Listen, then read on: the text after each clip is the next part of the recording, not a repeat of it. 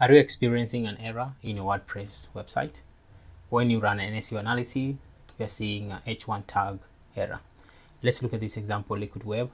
Let's inspect this block of the homepage. You realize that this block, the text, the bold text, is an H1 tag. That's how simply they created an H1 tag for their website. It's as simple as that, nothing else. Let me show you another example. This is my website if we run an inspection on this text, we realize that what you see when you open my website, it's a paragraph. This text is a paragraph, not an H1 tag. But how did I manage? This is how I did it. I created an H1 tag, but I made it invisible.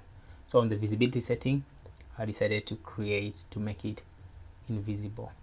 Back to Liquid Web, we can create this one. Simple as this uh, go to create a new layout. Okay. Mm, let's browse for all. We want to add a layout. Go to design library. There are pre-made templates. Choose something that is suitable that looks like that of liquid web. This is one is suitable. Click on it and wait for it to load. Wow. Beautiful. Looks exactly like what we saw previously on Liquid Web. The design is the same. It has buttons, it has the I mean the, the text blocks. Yeah, it's similar.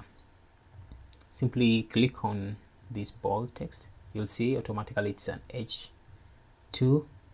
Okay, convert it to an H1. You've already created an H1 tag.